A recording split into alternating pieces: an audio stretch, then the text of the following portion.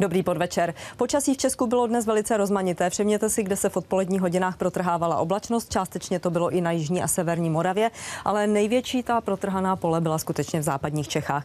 E, tady je vidět, že se to projevilo i v teplotách. České Budějovice dokonce téměř 8 stupňů Celzia. Také střední Čechy měly teploty přes 5 stupňů. A my se podíváme i na to, jak to vypadalo z Milešovky. Dnes po 15. hodině tam byl pohled už jiný než dopoledne, protože sněhu ubývalo v odpoledních hodinách. A naproti tomu třeba ze Šeráku Šeráku, tam sníh rozhodně neubýval, ale Šerák byl v té době v oblačnosti. Můžeme se podívat také na oblačnost družice, která ukazuje pohyb všech oblaků nad celým kontinentem. Přecházejí ze severního moře do střední Evropy, respektive bych měla říct, přecházejí především přes severní Evropu. Ve střední Evropě se projevuje především okraj těch oblaků. Eh, pás studené fronty ale zítra zasáhne do počasí v Česku. Ještě předtím tu máme ale noční počasí, kdy bude převládat polojasno nebo oblačno. Teprve v průběhu noci čekáme od západu, severozápadu přibývání oblačnosti a můžou se také přidat první srážky. 3 až minus 1 stupeň Celzia budou ranní minimální teploty. Foukat bude mírný jeho západní nebo jižní vítr 3 až 6 metrů za sekundu a ojediněle se může vytvářet taky náledí. Počítejme s tím, že srážkové úhrny budou do 5 cm sněhu na horách, ale sníh se bude objevovat kránu, už i v nadmorských výškách kolem 600 metrů nad mořem.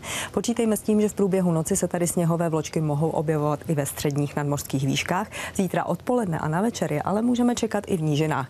To všechno v důsledku toho, že za studenou frontou se do střední Evropy bude dostávat výrazně chladnější vzduch, než jsme měli o víkendu.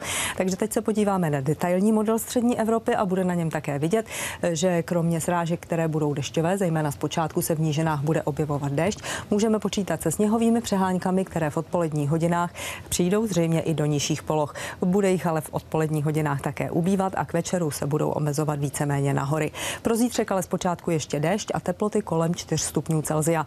Maxima ale nemusí být zaznamenána v odpoledních hodinách. Zítřejší nejvyšší teploty 2 až 6 stupňů mohou být klidně už dopoledne. Odpoledne se totiž za frontou začne od severozápadu ochlazovat a čeká nás velká oblačnost. Převládat bude oblačno až zataženo. Vidíte, že se k tomu bude vyskytovat déšť nebo déšť se sněhem.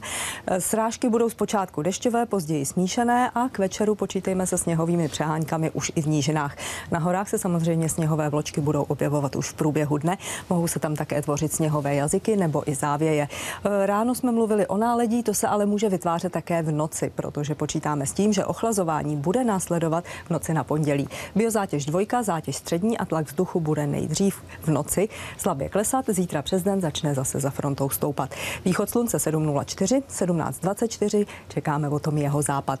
Výstraha platnosti až do pondělního dopoledne do 10. hodiny a i když se náladí může zítra objevit, daleko častější bude zřejmě v pondělí v ranních hodinách.